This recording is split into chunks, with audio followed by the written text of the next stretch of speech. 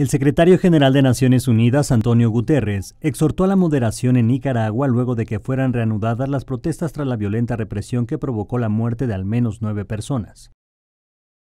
En un comunicado emitido por su oficina, el funcionario manifestó preocupación por las recientes protestas en Nicaragua, además de que apeló a que todas las partes actúen con moderación.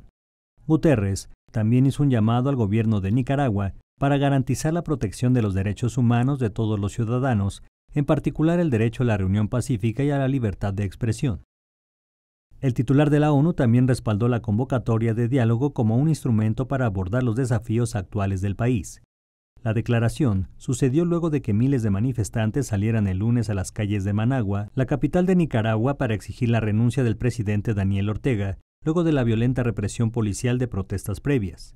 Las protestas comenzaron la semana pasada después de que el gobierno de Ortega propusiera un plan para reformar el sistema de seguridad social del país centroamericano, de lo cual el mandatario se retractó el domingo anterior y convocó a un diálogo nacional.